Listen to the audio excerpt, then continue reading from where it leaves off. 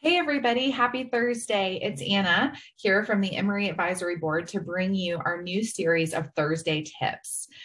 We're at Thursday. We're almost to the weekend. We've almost made it. And I'm sure if you're like me, you're feeling like you have a few different things hanging out that you really want to wrap up before we hit that reset button on Friday afternoon but maybe you feel stuck. Maybe you're unsure how to move forward. Maybe you feel like you just don't know what that next step should be.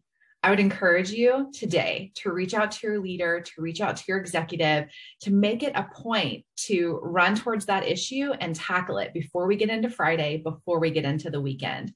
Sometimes having those harder conversations on the front end leads to so much value at the end of that project because you were able to course correct or get it right or get over that hurdle and not feel stuck in this place. It can be tough, it can be hard, but you can do it and you're going to serve your leader better because you ran towards the problem rather than just waiting for a solution. Have a great rest of your day.